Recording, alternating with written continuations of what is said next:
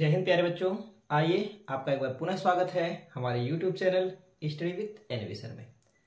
हम लोग alcohol phenol ether पढ़ रहे हैं और एल्कोहल फिनॉल ईथर में हमने एल्कोहल बनाने की सभी विधियों का अध्ययन कर लिया है।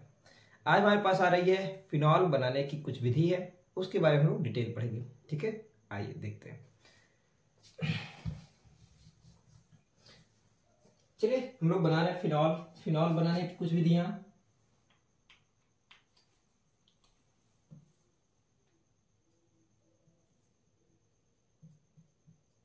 फिनॉल बनाने की विधि।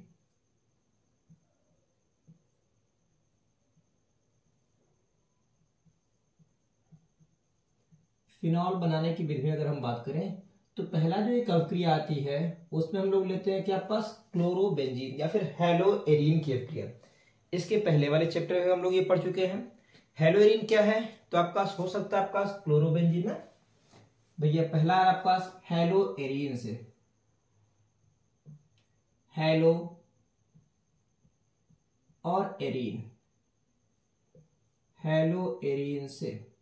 ठीक है? हेलो एरीन क्या होते हैं भाई? हेलो एरीन मतलब होता है, भैया अगर हमारे पास कोई कार्बनिक कंपाउंड है सॉरी ये कार्बनिक ही है, हेलो एरीन से। अर्थात अगर हम बात करें इस समय, भैया हेलो एरीन क्या होंगे? भैया अगर बेंजीन रिंग के साथ क्या कोई हेलोजन लगा हो ना, जैसे जैसे दिया क्लोरोबेंजीन, ये बेंजीन के साथ लग गया सीएल इसको हम लोग क्या कहते हैं? क्लोरोबेंजीन। और जब क्लोरोबेंजीन है तो हमने आपको बिल्कुल ये अक्रिया पहले भी हमने बताया था, किसमें? एल्किल हेलाइड और एरिल हेलाइड में, ठीक है? एल्किल हेलाइड और एरिल हेलाइड में आपको बताया गया था कि भैया अगर हम इसकी अक्रिया कराते हैं, किसके साथ करा दे भाई? भैया बिल्कुल क्षार के साथ। हम लोग ले रहे हैं यहाँ पे क्या? N A O H sodium hydroxide लेकिन देखिए ध्यान ये रखना है कि जो हेलो एरिन है, इसमें भी सामान्य ताप पर यह क्रिया नहीं होने वाली। कारण क्या है इसका भैया? हेलो एरिन में जो हेलोजन होता है या फिर क्लोरीन होता है, वो रिजोनेंस के कारण ऐसा है। ये रिजोनेंस है इसमें, अनुनाद। क्यों? क्योंकि भैया इसमें जो क्लोरीन परमाणु है, वो इलेक्ट्रॉन युग्म दे करके और भैया आंशिक रूप से डबल बॉन्ड का निर्माण कर लेता है।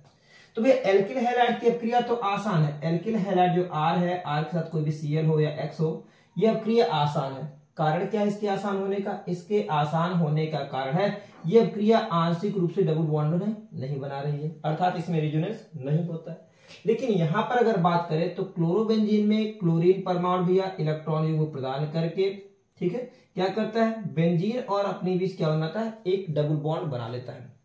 जो जिसे तोड़ने के लिए अधिक ऊर्जा की आवश्यकता होती अतः जब ये एनएच के साथ अक्रिया करता है NaOH के साथ अपक्रिया करता है तो माध्यम थोड़ा सा प्रबल होता है। अर्थात लगभग 623 केल्विन तापमान देना पड़ेगा और साथ में होना चाहिए आपके पास क्या? 300 एटीएम दाब एटीएम एटमोस्फियर प्रेशर देते हैं। उच्च ताप और दाब पर यह क्रिया होती है। कारण क्या भैया?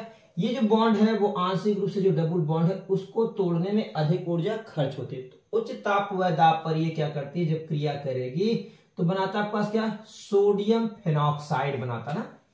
ये बनाता है सोडियम फेनॉक्साइड, अर्थात बेंजीन रिंग और बेंजीन रिंग के साथ क्या अभी पास? लग गया ओ एन ए कैसे?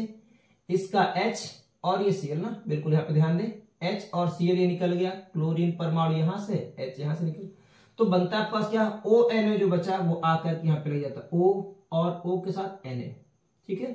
माइनस चार्ज प्लस चार्ज क्योंकि भैया सॉल्ट टाइप है तो आपके पास माइनस प्लस आप लिख सकते हैं सोडियम नाम हो गया सोडियम फेनॉक्साइड इसको हम लोग कहते हैं सोडियम फेनॉक्साइड सोडियम फेनॉक्साइड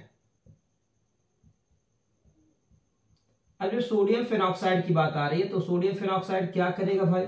ये जो सोडियम फेनॉक्साइड होता है, उसको हम लोग क्या करते हैं भैया? अम्लन करा देते हैं एच प्लस आयन प्रोटॉन एस भी आप ले सकते हैं, कोई दिक्कत नहीं। कोई भी अम्ल लीजिए एच सी अगर आप प्रयोग कर तो यहाँ पे क्या होगा? सी एल एन ए के साथ अपक्रिया करके माइनस का निकल गया एन ए सी एल और बनेगा क्या? एच आकर के यहाँ पे लग जाता है तो बनता आपका कंपाउंड क्या? फिनॉल बनती है। ठीक है? फिनॉल अगर बनाना चाहते हैं, बिल्कुल आपके ओ एच है। तो ये दो चरण में भी हो सकती है, इस प्रकार से भी कर सकते हैं। नहीं तो आप अम्लन यहाँ पे करा दीजिए, आपके क्या? डायरेक्ट फिनॉल बनकर के आपको प्राप्त होगी ना। तो ये हो गई सोडियम फिनॉक्साइड है, और ये बना आपका फिनॉल तो याद रखिएगा फिनॉल क्या है, कैसे बनाया गया? फिनॉल आपके पास अगर बेंजीन रिंग के साथ भी हाइड्रोक्सिल समूह लगा होता तो उसको हम लोग फिनॉल कहते हैं। कहाँ से बनाया गया? हम लोग ले रहे हैं क्लोरोबेंजीन क्लोरोबेंजीन अगर क्लोरोबेंजीन हम लोग लिए हैं तो क्लोरोबेंजीन क्या करेगा भाई? ये क्लोरोबेंजीन किसके साथ? सोडियम हाइड्रोक्साइड के साथ उच्च ताप पर क्या करता है? उच्च ताप पर क्रिया करके बनाता है सोडियम फिनॉक्साइड बनाता है। और ये सोडियम फिनॉक्साइड क्या करता भैया? इसका अगर हम लोग अम्लन करा देते तो हमको क्या प्राप्त होती? फिनॉल प्राप्त होती। ठीक है? आइए, हम लोग एक अपक्रिया और पढ़ रहे हैं इसमें। अगला आपके पास क्या? अगर हमारे पास दे दिया जाए क्या भैया? भैया, ये तो हो गया हेलो एरिन से। दूसरी अपक्रिया आती हम लोग लेते क्या? है बिल्कुल, बेंजीन सल्फोनिक अम्ल। ठीक है? दूसरी अपक्रिया कहाँ से बना रहे हम लोग? बेंजीन सल्फोनिक अम्ल से। बेंजीन सल्फोनिक अम्ल ठीक है? बेंजीन सल्फोनिक अम्ल। जब बेंजीन सल्फोनिक अम्ल की बात आती है तो बेंजीन सल्फोनिक अम्ल में क्या है भाई? बेंजीन सल्फोनिक अम्ल बना कैसे? तो देखिए, हम लोग इसकी अपक्रिया कराते हैं, बेंजीन की अपक्रिया कराते हैं ओलियम के साथ। ओलियम क्या होता है? चलो देखते भाई, ओलियम क्या है? लेते हैं आपके पास क्या? H two H two O seven होता नहीं? ओलियम जो होता है होता है एच टू एच टू और ओ सेवन होता है। संरचना कुछ इस प्रकार की है ओलियम की, ठीक है? मैं आप लिख रहा हूँ एच टू एच टू ये बेंजीन सल्फोनिक अम्ल अपक्रिया कैसे करती है, उसको हम लोग यहाँ पढ़ते हुए चलेंगे। क्या है? ये बेंजीन और यहीं पर आपके पास अपक्रिया से करा रहे ओलियम के साथ। ओलियम बिल्कुल संरचना पर ध्यान देंगे तो इस प्रकार से कुछ संरचना आएगी। एस हो गया double bond of O double bond of O O और एच यहाँ पे भी आपके पास क्या है? ओ है। एस हो गया double bond of O double bond of O और ये ओ एच इसको हम लोग कहते हैं ओलियम। ठीक है? ये है ओलियम। अब जब हम ओलियम का प्रयोग यहाँ पे कर रहे हैं तो ओलियम कैसे अब क्रिया करेगा? तो ध्यान रखेंगे। ये ओलियम यहाँ से भी है, इसके पास हर जगह हाइड्रोजन है। तो इसका हाइड्रोजन इसके साथ जब अपक्रिया करता है तो बनाता है पास क्या? H two S O four बनकर के निकल जाता है। तो ध्यान रखेंगे, निकला क्या पास? माइनस का निकल गया एच टू और एसओ फोर बना क्या? एस और ओ थ्री एच वो आकर के क्या करता है? बेंजीन रिंग पे लग जाता है इस प्रकार से। तो क्या बना? ये देखिए बेंजीन रिंग ऐसे ही है। और आया क्या? एच टू से फोर निकला। बना आपके पास क्या भैया एस ओ थ्री एच बिल्कुल. S double bond of O double bond of O और ये हो गया एच नहीं? नाम क्या होता है इसका? इसका नाम हो गया बेंजीन सल्फोनिक अम्ल. बेंजीन सल्फोनिक और अम्ल है. ठीक है? बेंजीन सल्फोनिक अम्ल है. किससे अपक्रिया हुई है भैया? बेंजीन की. किसके साथ अपक्रिया भैया? बेंजीन की अपक्रिया हुई किसके साथ? ओलियम के साथ. और बना के आपके पास एस्टेसोफोर निकला। बन गया बेंजीन सल्फोनिक अम्ल बना ठीक है? अब जब बेंजीन सल्फोनिक अम्ल बन गया यहाँ पर, अब क्या करते हैं इसकी? इसकी अप्रिया क्षारक के साथ कराते हैं। क्षारक में ले रहे हैं वही एनएच है। बिल्कुल यहाँ पे प्रयोग किया जा रहा है एनएओएच सोडियम हाइड्रोक्साइड क्या होता है? ये हाइड्रोजन परमाणु फिर से इसके साथ अक्रिया करता है कुछ इस प्रकार से ध्यान दें। इस प्रकार से अक्रिया हुआ ये एच अर्थात निकल गया आपके पास क्या? एच टू और एस ओ थ्री सल्फ्यूरस और ओ एन ए आकर के यहाँ पे लग जाता है, बनता है क्या? Sodium phenoxide. ठीक है? बनेगा आपके पास क्या? वही sodium phenoxide, benzene ring O O के साथ हो गया एन ए बिल्कुल माइनस बस। तो इस प्रकार से आपके पास क्या बना? सोडियम फेनॉक्साइड बना। Ionic compound sodium phenoxide. Sodium phenoxide जब बन चुका है, क्या करेंगे इसका? अभी थोड़ी देर पहले और आपको बताया गया था। क्या कराएँगे? अम्लन। Sodium phenoxide. अब जो सोडियम फिनॉक्साइड बन गई इसका क्या करा दीजिए भाई? यहाँ भी आपका सोडियम फिनॉक्साइड बनी थी। क्या बनेगा? बनने वाला पास अम्लन, अर्थात आप ले लेंगे एससीएल क्या निकल गया? यहाँ से Na और Cl निकला, माइनस का निकल गया NaCl आकर के ऐसे लग जाता है? तो बनेगा आपके पास क्या? फिनॉल। ठीक है? फिनॉल बन गया ये ये हो गया आपके पास OH क्या कहलाएगा भाई? फिनॉल। तो ध्यान ये रखना है, हम लोग दो क्रिया यहाँ पे पढ़ रहे हैं फिनॉल बनाने की। एक तो हो गई हेलो एरिन के साथ। हेलो एरिन क्या करती है भैया? हेलो एरिन हम लोग ले रहे हैं क्लोरोबेंजीन। और क्लोरोबेंजीन की क्रिया हम लोग क्या कर रहे हैं? 623 केल्विन तापमान होना चाहिए और 300 एटीएम लगभग दाब जब होगा तो अब क्रिया करके क्या बनाएगी? सोडियम फेनॉक्साइड बनाएगा। और सोडियम फेनॉक्साइड का हम लोग क्या कराएँगे? अम्लन करा देंगे, अर्थात एस के साथ अब क्रिया करा देंगे। क्या बनेगा? बिल्कुल H और यहाँ पे सॉरी Na और Cl निकल जाएगा और आपको प्राप्त होगा फिनॉल दूसरी अपक्रिया आपकी किसकी भैया? दूसरी अपक्रिया हम लोग पढ़ रहे क्या? बेंजीन सल्फोनिक अम्ल की बात चल रही। बेंजीन सल्फोनिक अम्ल क्या करता भाई बेंजीन सल्फोनिक अम्ल जो होता है, वो अपक्रिया करता है कि सॉरी बेंजीन जो होता है वो किसके साथ अपक्रिया करता भैया? ओलियम के साथ। ओलियम क्या है? H2H2O7 जो होता है वो कहलाता है ओलियम। और ओलियम के साथ जब क्रिया होती है तो बनता है पास क्या? बेंजीन सल्फोनिक अम्ल। ठीक है? बिल्कुल, बेंजीन सल्फोनिक अम्ल बना।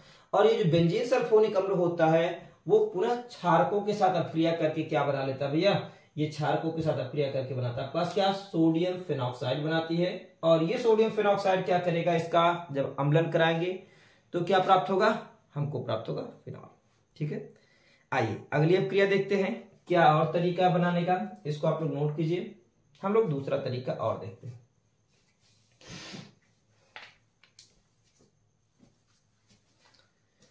दूसरे में हम लोग पढ़ने वाले आप पास, ये हो चुका होगा फिनॉल बनाने का। एक और तरीका देख रहे हैं, ठीक है? क्या बनेगा? अगर हम लोग चाहते हैं भैया फिनॉल बनाना तो आप ले सकते हैं डाई एजोनियम सॉल्ट ठीक है? डाई एजोनियम सॉल्ट नोट करें।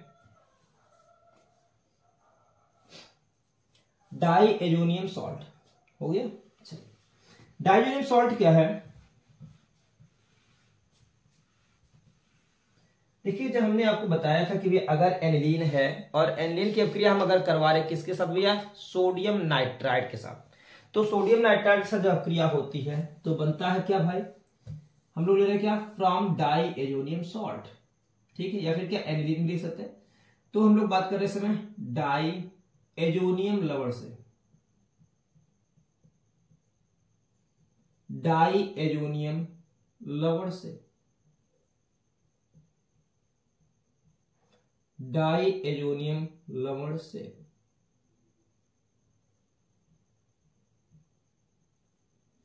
चलिए, बात चल रही है डाइएजोनियम लवण से। अगर हम डाइएजोनियम लवण का प्रयोग कर रहे हैं तो क्या बनेगा आपका? बनाना क्या हमको? फिनॉल बनानी है। अब बात आती है डाइजेनियम लवण बनता कैसे है? जब हम लोग एनिलीन की अक्रिया एनिलीन क्या है भाई?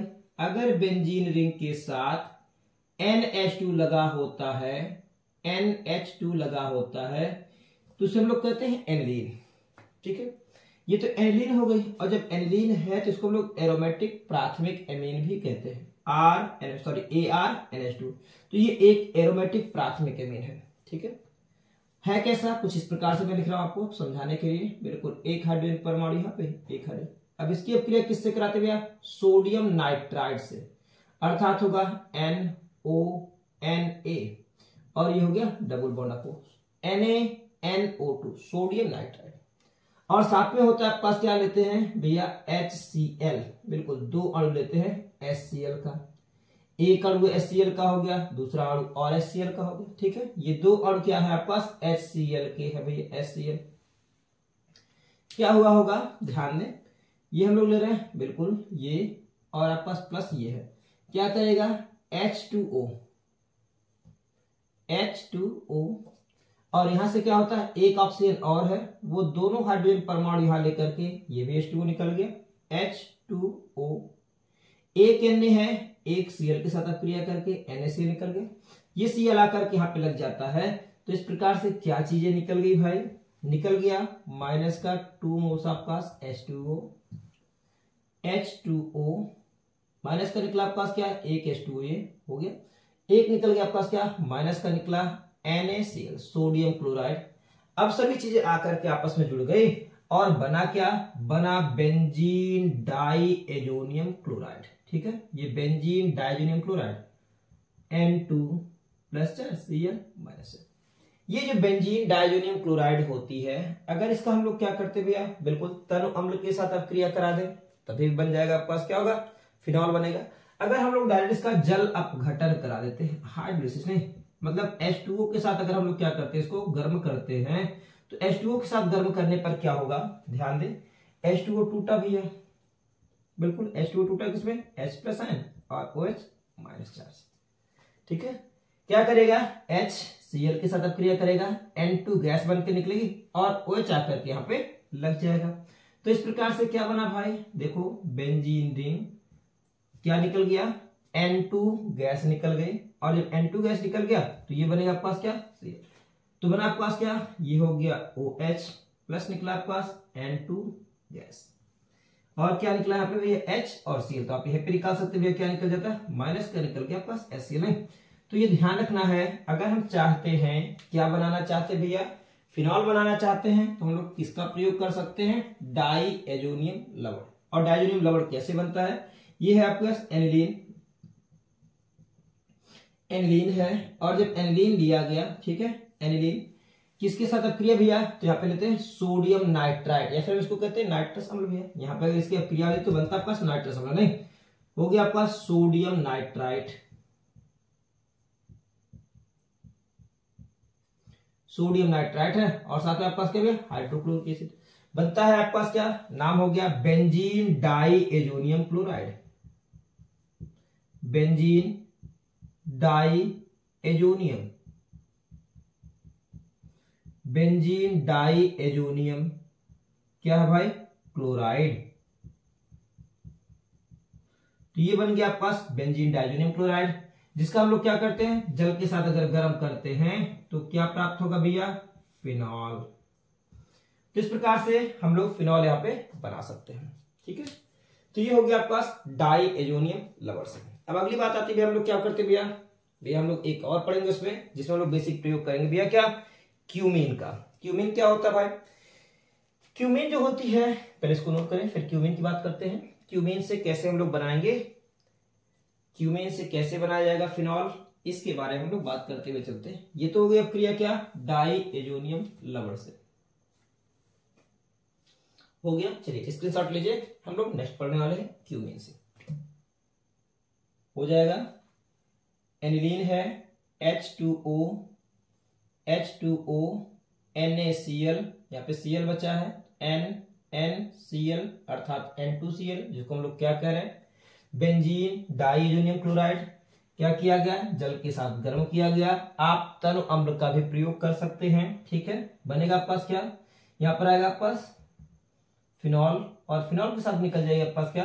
एन टू गैस चलिए।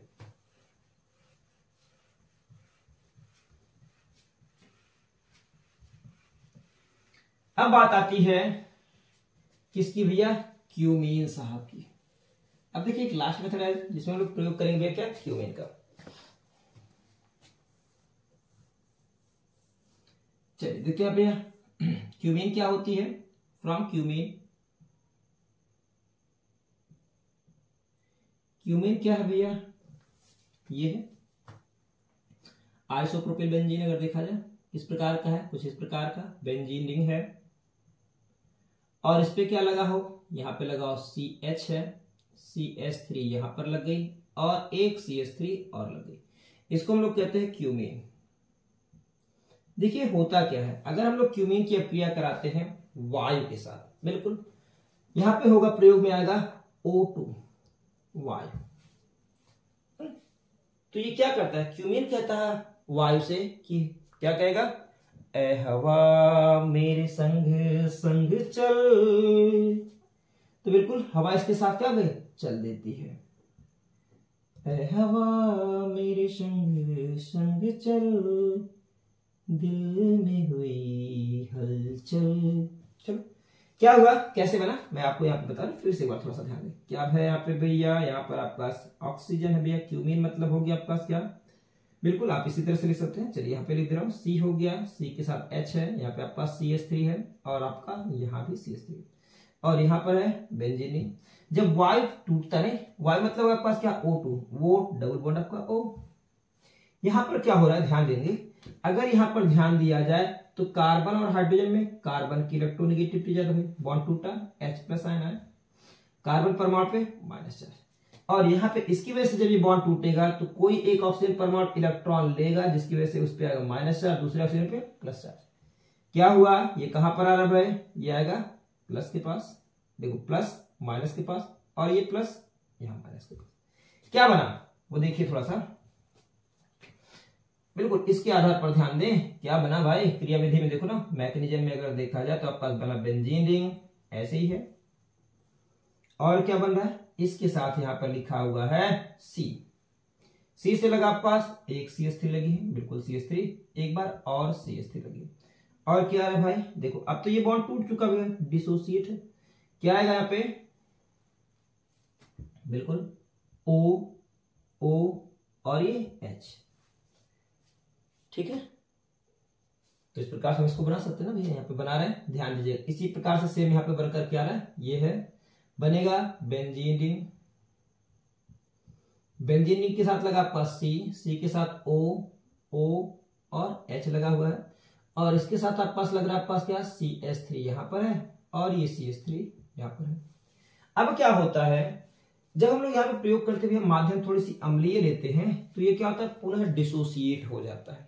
अम्लीय माध्यम में, भैया प्लस जल करवा रहे आप ले सकते हैं प्लस और एच टू तो ये क्या होगा? टूटेगा। कैसे टूटेगा? व्यवस्था सेम हुई है। ऑक्सीजन इलेक्ट्रोनिगेटिविटी ज़्यादा भैया ऑक्सीजन इलेक्ट्रॉन लेना। आप इधर भी कर सकते हैं। कोई दिक्कत नहीं आ रही। अम्लीय माध्यम में ये बॉन्ड डिसोसिएट होगा। बनेगा पास क्या? ओ OH या फिर आप लिख सकते हैं एच जो टूटा है। एच टू किसमें टूटेगा भाई? एच प्लस आयन और ओ OH माइनस मैं इसको हटा रहा हूँ। इसको आप लोग नोट कर लिए होंगे। चलिए। यहाँ पे क्या बना पास? एच टूटा ये। अम्लीय माध्यम में जलाघटन करा है भाई। एच टू ना? एच टू टूटा किसमें? एच प्लस आयन और ओ OH माइनस चार्ज अगर ये बॉन्ड टूटता है यहाँ पर तो ये एच क्या होगा? इसके ऊपर आएगा माइनस चार्ज होगा? इसके ऊपर क्या है? प्लस चार्ज इलेक्ट्रॉनिक तो एच इसके पास आ गया OH और यहाँ पे देखिए, जब इस कार्बन परमाणु पर इलेक्ट्रॉन की सॉरी इस ऑक्सीजन परमाणु पर जब इलेक्ट्रॉन की कमी होती है तो ये बेंजीन से इलेक्ट्रॉन ले लेता है। अर्थात इस पे माइनस इस पे क्या है? प्लस चार्ज कॉन्सेप्ट को ध्यान देंगे। ये क्या है आपके पास? क्यूमीन है, जिसमें पराक्साइड बॉन्ड उपस्थित है। ठीक है? तो जब पराक्साइड बाण उपस्थित है, जब जल अपघटित तो होगा तो जल बनाएगा H प्लस आयन और ओ एच आयन बनाएगा। कोई दिक्कत नहीं। अब भैया, यहाँ पे भी बॉन्ड पराक्साइड वाला बॉन्ड टूट रहा है। तो भैया, इसमें ऑक्सीजन की, इसकी इलेक्ट्रॉन क्योंकि इधर प्रेरण प्रभाव, जब इलेक्ट्रॉनिक जाता तो ये बॉन्ड टूटा भैया। ओ एच क्या करेगा? एच लेकर के बनाएगा पास क्या? एच टू बन चुका। और ये ओ OH क्या करता है? अब देखिए, ये अपने आप को रीअरेंज करेगा ऑक्सीजन परमाणु पर प्लस चार्ज और ये बॉन्ड जब इसके पास इलेक्ट्रॉन डेफिशिएंट हो गया तो ये क्या करे? कार्बन के इलेक्ट्रॉन को अपनी ओर खींच रहा है। तो ये बॉन्ड यहाँ से टूट करके बेंजीनिंग का इसके पास आएगा। माइनस चार्ज माइनस और प्लस मिलकर के बॉन्ड बनाएँगे। और ये ओएच क्या करेगा? आक्रमण करेगा तुरंत इस बेंजीनिंग पे, नहीं? तो क्या बना आप पास? कंपाउंड ध्यान दे। बन गया आपके पास फिनॉल बना आपका फिनॉल बेंजीन रिंग और बेंजीन रिंग के साथ आकर के यहाँ पे लग गया आपके पास क्या? सी सॉरी ओ एच ये फिनॉल बना। और प्लस क्या निकल रहा है? प्लस निकल रहा है C S three C double bond of O और सी एस थ्री तो इस तरह से बनेगा आपका C S three C double bond of O और ये सी एस थ्री नाम हो गया एसीटोन एसीटोन है। इसका नाम क्या भाई? फिनॉल ठीक है? चलिए नोट कीजिए। या फिर आपके पास क्या? क्यूमीन हाइड्रोपरऑक्साइड इसका भी नाम हो जाएगा क्या? क्यूमीन हाइड्रोपरऑक्साइड क्यूमीन है। हाइड्रोजन परऑक्साइड लगा था ना इसमें तो नाम होगा cumene hydro peroxide hydro peroxide तो ये ध्यान देंगे, ये क्यूमीन हाइड्रो परऑक्साइड है और ये बना फिनॉल तो अब क्रिया किससे हुई है? क्यूमीन की अब क्रिया वायु के साथ होने पर बनेगा क्या? क्यूमीन हाइड्रो परऑक्साइड बनेगा और क्यूमीन हाइड्रो परऑक्साइड क्या करता है? फिनॉल के साथ अबक्रिया करके क्या देता है? एसिटोन देता है।